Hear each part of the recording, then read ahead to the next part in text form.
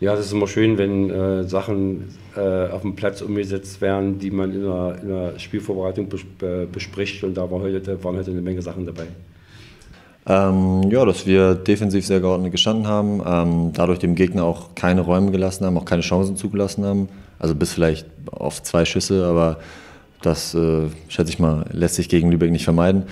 Ähm, naja, und auf jeden Fall haben wir äh, verdient gewonnen. Äh, naja, wir waren nämlich unbedingt Favorit. Wir sind sicherlich in einer guten Rolle, weil wir jetzt ein paar Spiele gemacht haben, die äh, auch zu Punkten geführt haben.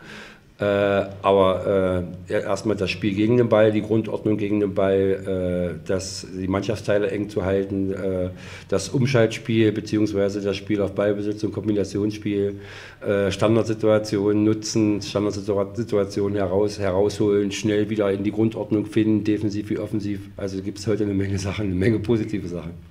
Wir wussten, was Lübeck kann, ähm, wussten auch, dass sie da nicht so, zu Unrecht stehen.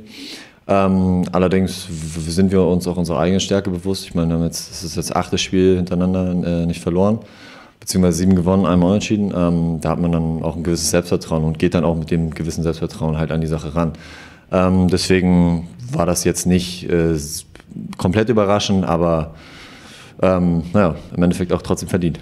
Also ich denke, dass, dass alle Mannschaften, die auf den Platz gehen, äh, dass die versuchen, da auch siegreich äh, vom Platz zu gehen. Und das ist bei uns nicht anders. Also von der Seite her macht es im Moment Spaß. Jeder weiß, dass, dass äh, wo wir hergekommen sind, dass wir, dass wir zu Beginn äh, sicherlich auch ganz ordentlichen Fußball gespielt haben, dass die Resultate aber nicht gepasst haben. Äh, und jetzt ist es so, dass Spielweise und Resultat passen und das wollen wir natürlich so lange genießen, wie es geht. Wir fahren eigentlich ganz gut damit, dass wir von Spiel zu Spiel gucken, weil nach ganz oben ist der Zug abgefahren. Ich meine, Meppen hat, glaube ich, 20 Punkte Vorsprung. Ähm, das ist Schwachsinn.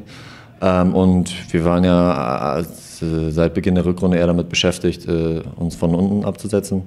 Von daher gucken wir weiter von Spiel zu Spiel und gucken dann, was kommt.